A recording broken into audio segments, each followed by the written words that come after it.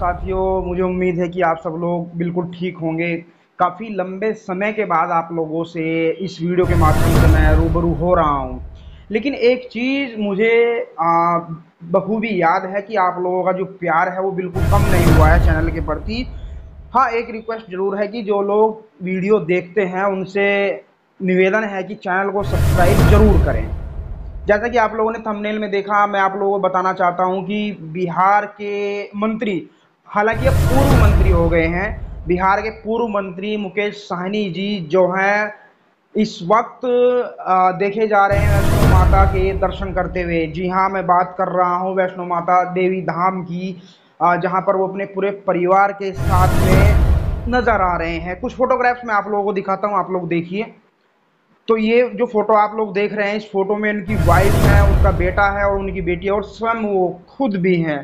और एक फ़ोटो में देखे गए उनके छोटे भाई संतोष साहनी जी, वो भी आजकल माता वैष्णो देवी के दर्शन करते हुए नज़र आ रहे हैं और अंदाज़ा लगाया जा रहा है कि 10 तारीख के बाद वो लोग बिहार, पटना वापस लौट रहे हैं। तो आप लोग भी अगर जाना चाहते हैं वैष्णो देवी तो जम्मू से भी एक ट्रेन चलती है। हाँ उससे आप लोग जो है जम्मू जा कर के माता वैष्णो के दर्शन कर सकते हैं। तो अभी जो बिहार में गर्मा गर्मी बनी हुई है, जाति आधारित जनगणना को लेकर के तो लोगों की निगाहें हैं कि क्या नीतीश कुमार जाति आधारित जनगणना को अंजाम दे पाएँगे?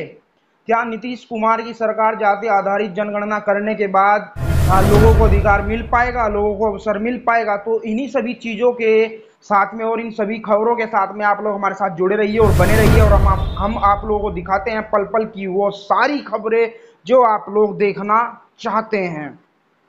तो इस वक्त की सबसे बड़ी खबर यही है कि बिहार के पूर्व मंत्री मुकेश साहनी जी जो हैं, माता वैष्णो देवी के दर्शन करते हुए नज़र आ रहे हैं और उनके छोटे भाई संतोष साहनी जी भी माता वैष्णो देवी के दर्शन करते हुए नज़र आ रहे हैं।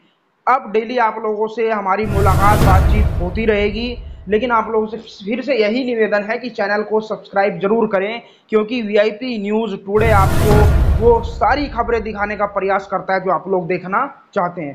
धन्यवाद, फिर मिलेंगे कहीं ना कहीं किसी ना किसी टॉपिक पर वीडियो बनाते हुए। तब तक के लिए आप लोग खुश रहिए, मस्त रहिए। नमस्कार।